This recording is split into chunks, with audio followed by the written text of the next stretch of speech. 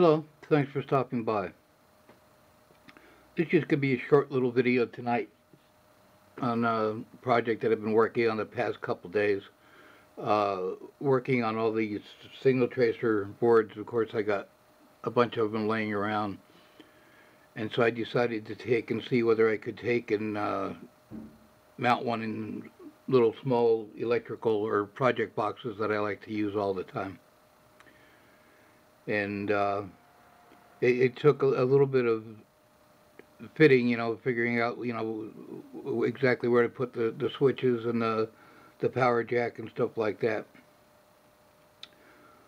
But I think it turned out okay. Uh, you can see here, uh, I just, you know, laid the board in the bottom of the box. I have a, a uh, DC power jack to uh, plug the 9 volt batteries into. Uh, volume control there on the uh, lower left. And at the top there's a double pole, double pole switch to take and go back and forth between uh, AF and RF. And uh, all I did was put a BNC connector on this. And I used one of these little speakers. And that's about it. Like I said, this is going to be a short one. Uh, give you a little uh, demo here on what it sounds like. Then I'll be back. Back and relax. Home Advisor can help get you started. Home Advisor matches you to the right pro for the job in seconds. You can read reviews and even book appointments online. Home Advisor can help with any home project, big or small, painting, plumbing, even remodeling.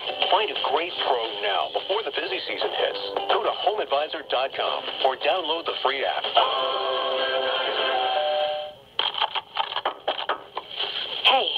My friend's retail store was the victim of IoT password theft. Yep. As you can hear, that works pretty well. Uh, that's just a little ferrite loop antenna out of a transistor radio that I have the uh, uh,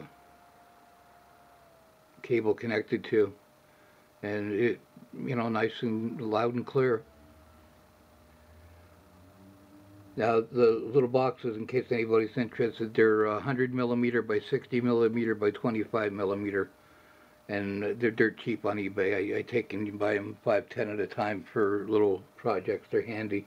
That's what I took and made uh, Doug's uh, voltage uh, standard in and stuff like that. They're, they're just super handy. Anyway, thanks for stopping by. Have a good day.